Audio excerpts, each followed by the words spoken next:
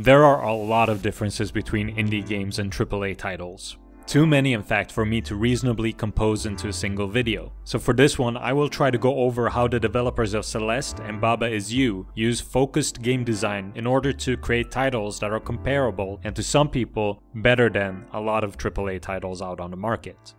AAA games are more often than not very ambitious projects. That ambition might manifest itself in different ways. Some might place their focus on their world or story, while others try to create an experience that is as close to reality as possible.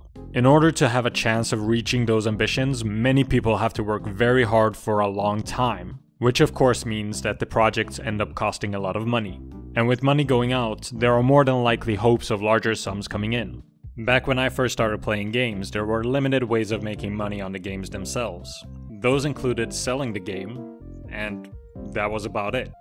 Expansions would happen to some games, but generally, if you wanted to make money, the game had to sell, or you would need to sell merch related to the title. Today, there are more ways to make money on games. Expansions have generally been cut out for their Zoomer cousin DLC, and while creating merch outside of the game world will always be popular, we also have gotten to a point where we purchase merch inside the games as well, by the method of microtransactions. But for any of these methods to make any money, they all require a user base. Acquiring that user base is done by making a game that people want to play, or when talking about projects as big as AAA titles, a lot of people want to play. Creating something that runs the risk of alienating people is going to be scary since a lot of jobs can be at play with any given title. There's of course space for titles to seem somewhat niche while turning out to appeal to a lot of people, as FromSoft has managed to prove. But a more common way of facing this issue is to create a game that has something for everybody. This is achieved by putting in a lot of features so people can end up playing the game they want to play. A good example of this is Red Dead Redemption 2. I played it as a movie where I followed the story and did little else outside of it, while others played it as a cowboy role playing game, and the really hardcore finally got the fishing game they've been dreaming about. Large companies have been competing for large user bases for a long time, and as such, AAA titles are becoming more and more complex, to the point where a lot of titles that once would have been considered to be full of things to do can get the critique of not having enough content. But the landscape looks quite different for indie titles. The first and most notable difference being the amount of people that work on them. The natural logic following this is the fact that they cost a lot less to develop, and therefore need to sell a lot less in order to still turn a profit. Not having to cater to many different types of people means that the games don't have to have as much variety in what they do. It would be disingenuous of me to present indie development as subtractive, when in reality they can be as ambitious, if not more so, than AAA titles. But because of the smaller amount of manpower, going wide in amount of features isn't really a valid use of the time. But going deep in the game's core makes much more sense. From here on out, I will be showing some gameplay that could be considered spoilers by some, although I will stick to only showing gameplay and will for the most part stick to early parts of each game. In the event that you really enjoy platformers, then I'd highly recommend Celeste, and the same goes for Puzzlers and Baba Is You. I would be very surprised if you liked their respective genre and didn't end up liking them, so you might want to save the experience for yourself. The reason I'm bringing both of these titles into the same video is partially due to the fact that I recently played through both of them, but also because they both have a similar progression structure which showcases how focus on a specific piece of design can bring more depth into a game.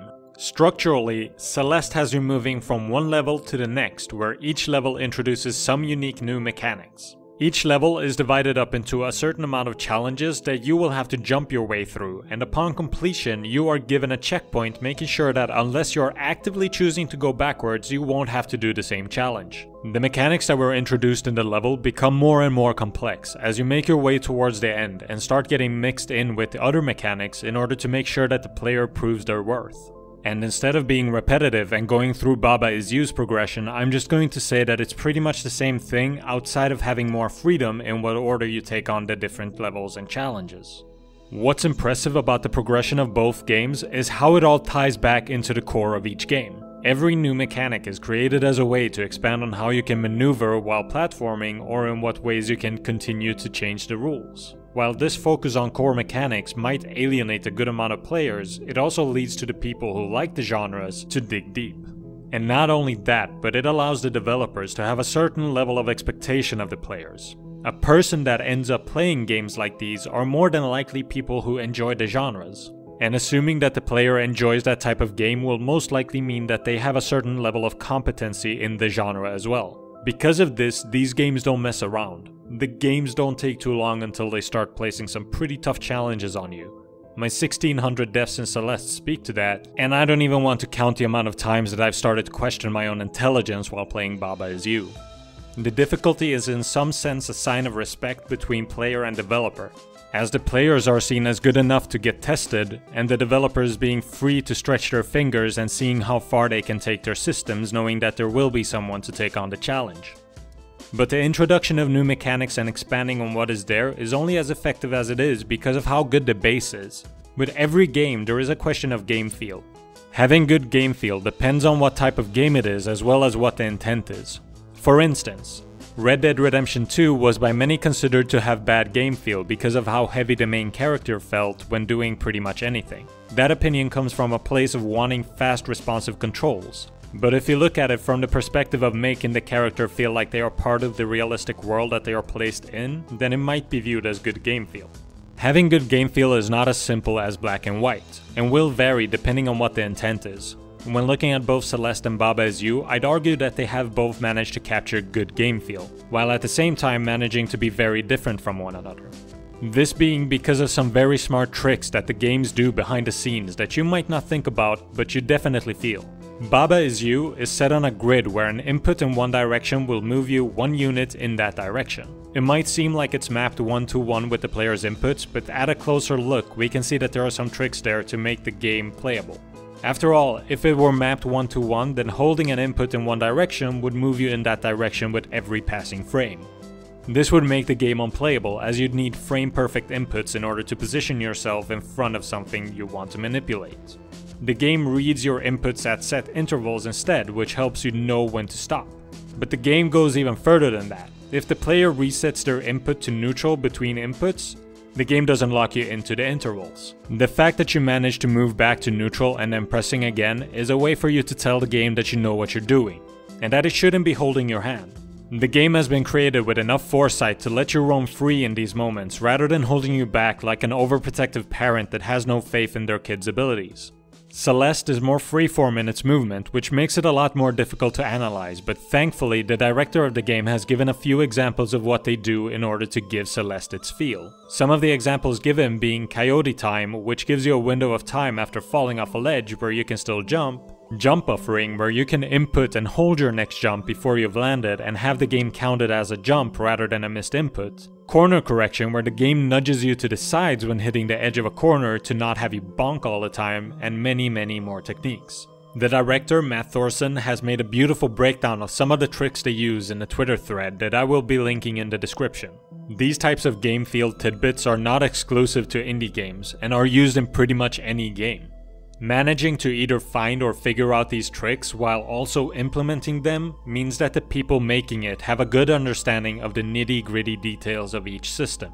And in the case of AAA titles, it's easy to see that polish on this level might not be applied to all of the different features in a game, as the greater whole can take priority over the fine-tuned details. But when a developer places their focus on the details in their core and makes sure that everything in the game ties back into itself, the results can lead to an experience which sets the bar for games in the genre. Keeping the focus on the core leads to a certain level of clarity and can be a valuable tool when trying to get something done. This goes outside of game development as well and into all of our lives.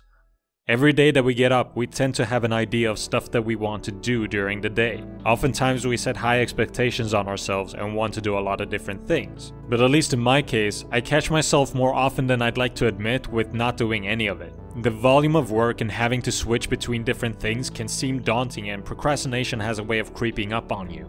The writing of this script, for example, got postponed multiple times until the day that I decided to only focus on finishing it. The amount of dishes in my sink might be screaming at me as I'm writing this, but focusing on the task at hand leads not only to finishing it, but also to a better result than if my focus was split to other things at the same time. So if you ever catch yourself feeling down because of all the things that didn't get done, then maybe it's a matter of trying to juggle too many things instead of making sure that one thing is kept in the air. Don't put too much pressure on yourself and learn from these games that it's okay not to do everything and that not trying to do everything might even make you better off in the end. Thank you for watching and I hope that you enjoyed the video. If you did, then you can let me know by subscribing to the channel, liking the video and leaving a comment. If you didn't, then feel free to let me know in the comments what you didn't like as it might be something that I can improve on in future videos. Also, feel free to follow me on Twitter at budding underscore basil. Thank you. Have a great day.